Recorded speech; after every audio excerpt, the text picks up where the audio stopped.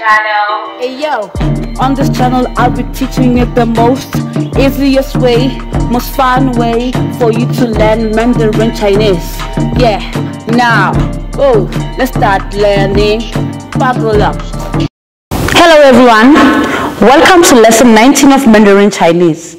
Today, we are going to learn about different types of gemstones. A diamond is called 钻石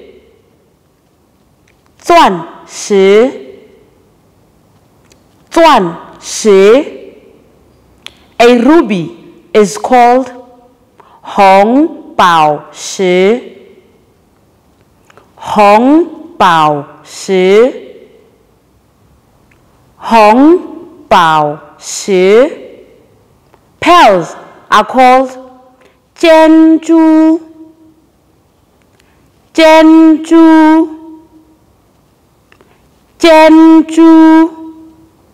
An emerald is called Lü Bao Shi. Lü Bao Shi.